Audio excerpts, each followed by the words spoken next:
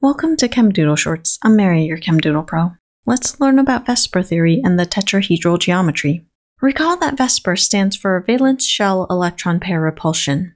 It's a model that predicts the geometry of molecules based on the valence shell electrons of a central atom. Electron pairs and bonds or lone pairs on a central atom minimize repulsions by maximizing their distance from each other. As seen here in carbon dioxide, the valence electrons in the double bonds on the central carbon atom arrange themselves to be as far from each other as possible, on opposite sides of the carbon. Let's delve further into VSEPR theory, specifically when there are four regions of high electron density around the central atom. As seen here, methane consists of a central carbon atom with four hydrogen atoms bonded to it. In order to minimize electrostatic repulsions, methane arranges into a tetrahedral geometry. In this shape, the valence shell electrons in the single bonds are equally distanced from each other. All bond angles are 109.5 degrees. What if one of the bonds was a lone pair? Let's consider ammonia. Nitrogen, the central atom, is bonded to three hydrogen atoms and has one lone pair for a total of four domains of high electron density. Therefore, VSEPR theory predicts that ammonia will adopt a tetrahedral shape with a trigonal pyramidal geometry. Ammonia has a tetrahedral basis, so its bond angles are similar to 109.5 degrees. However, its molecular geometry is trigonal pyramidal because of the unshared electron pair. The lone pair occupies more space and has stronger repulsion. This increases the angle between the lone pair and the hydrogen atom so that it is greater than 109.5 degrees. In turn, the bond angle between the hydrogen atoms is less than 109.5 degrees, around 107 degrees.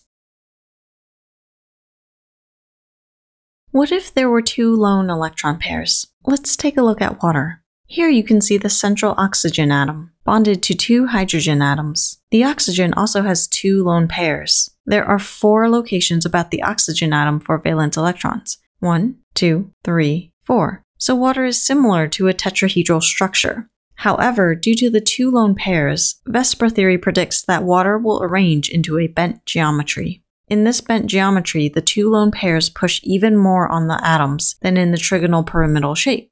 Consequently, the bond angle is about 105 degrees, which is less than 107 degrees in the trigonal pyramidal shape and 109.5 degrees in the tetrahedral geometry.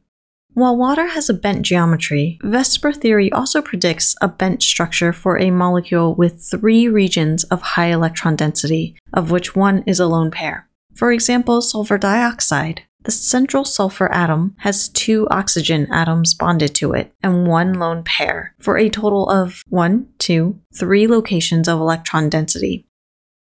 Take note that this bent geometry is different from water's bent shape.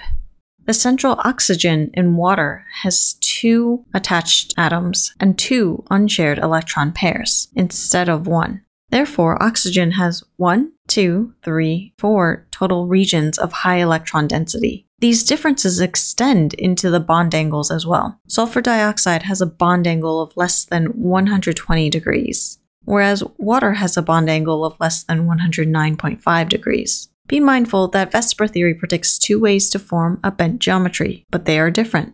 VSEPR theory is a helpful model for predicting molecular geometry. When there are four regions of high electron density, VSEPR theory predicts that molecules can adopt one of the following structures based on the valence electrons in bonds and lone pairs tetrahedral, trigonal pyramidal, bent, and linear.